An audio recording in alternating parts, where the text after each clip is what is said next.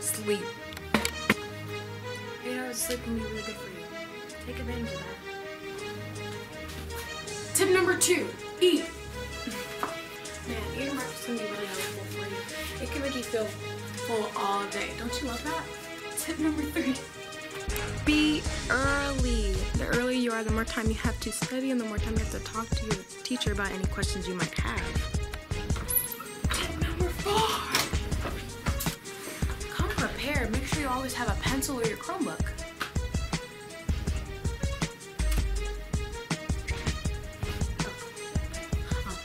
And for the last and final tip, study. Two hours can go a long way.